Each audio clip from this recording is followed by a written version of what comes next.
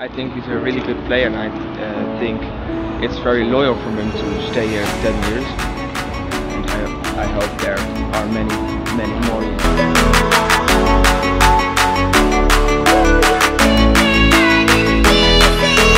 Et je suis content qu'il soit toujours à Paris en fait, 10 ans après.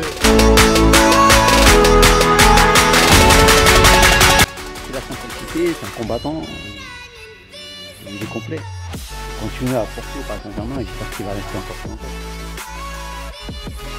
C'est un joueur beau à avoir joué, c'est un joueur très technique.